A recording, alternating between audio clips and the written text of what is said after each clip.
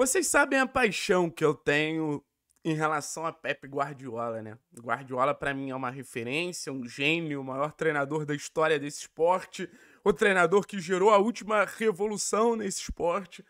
E eu fiquei muito feliz com o título do Manchester City porque eu achava que o Pepe merecia.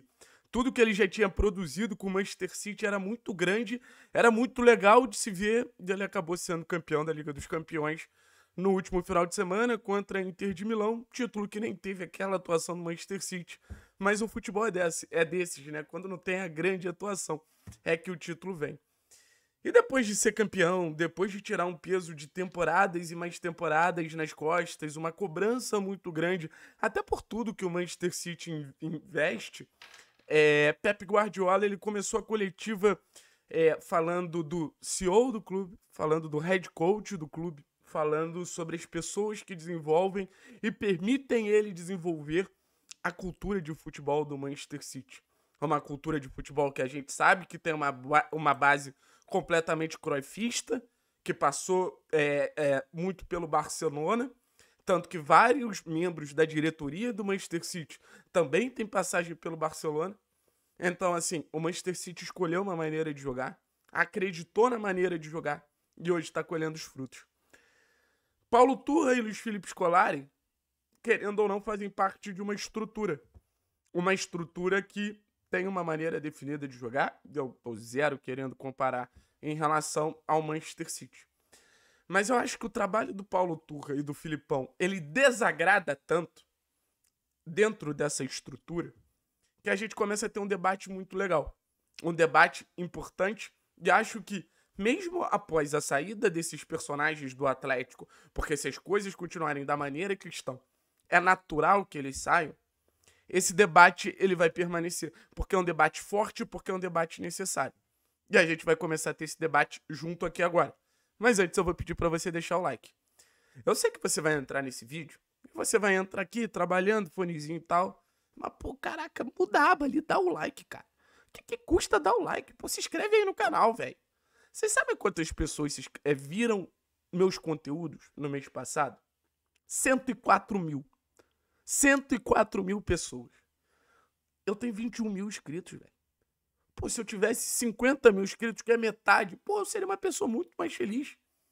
Então, se você ainda não se inscreveu, se inscreva no canal. E óbvio, aqui embaixo estão passando os planos de membro e estão passando o nosso código na KTO. A KTO é a melhor casa de apostas do, do Brasil, patrocina esse canal. E lembrando que o nosso código te dá 20% de bônus no primeiro depósito. Fala sobre cultura de jogo. O Atlético mudou radicalmente a sua cultura de jogo. Isso precisa ficar muito claro também. Acho muito importante a gente bater nessa tecla. Filipão, Paulo Turra, eles chegaram depois, principalmente da saída daquele cara ali atrás, que desde 2016 foi responsável por implementar uma iniciativa que é nova no futebol brasileiro. Os clubes do futebol brasileiro, eles não estão acostumados a fazer o que o Atlético faz, o que o Manchester City faz, o que vários clubes no mundo, os mais poderosos, eles fazem. Quer pensar, eu quero jogar dessa maneira, eu quero desenvolver o meu jogo a partir dessas ideias. E foi tentando desenvolver o jogo a partir dessas ideias que surgiu algo que não existe mais, mas surgiu algo muito importante, que foi chamado de jogo cap. O jogo CAP ficou no passado, mas o jogo CAP foi uma tentativa de criar um padrão para, independente do treinador, independente dos jogadores, o Atlético seguir jogando de uma maneira que o clube ele acreditava. Isso que me faz questionar muito, saber a diferença do escolarismo e do jogo CAP. Os personagens, tudo bem, mudaram, é natural. Mas não é natural mudar da água para o vinho. Porque as bases do jogo cap, e eu tenho certeza que o Atlético acreditava muito no jogo cap, são absolutamente nada a ver com as bases do escolarismo. E o torcedor ele curtia o jogo cap. E eu acho que o torcedor ele tem um papel muito importante nesse cenário como um todo, não de definir como o clube vai jogar. Até porque o torcedor ele não fez curso da CBF, o torcedor não se preparou para isso. O torcedor ele vai dar os seus pitacos, vai fazer as suas cobranças, mas torcedor é torcedor e profissional do clube é profissional do clube. Essa distância, ela precisa acontecer. Mas eu acho que o torcedor ele tem um, um sinal ali de aprovação muito importante. Porque a gente está falando da cultura Atlético Paranaense. E mesmo eu entendendo que na história o Atlético ele pode ter, é, ao longo de todos os 98 anos de clube, quase 99, enfim, é, já passou de 99, né? Quase 100 anos de clube. É, times que jogaram mais um futebol feio do que um futebol bonito. Só que vai muito além disso. É saber como a gente vai querer ficar com a bola, é saber como a gente vai querer se comportar, é saber como a gente vai querer propor o jogo ou reagir ao jogo.